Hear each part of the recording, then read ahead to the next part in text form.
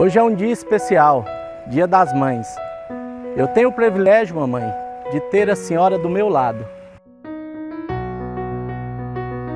Peço a Deus que continue assim, uma pessoa batalhadora e guerreira por muitos e muitos anos entre nós. Em seu nome, mamãe, quero homenagear todas as mães. Feliz Dia das Mães.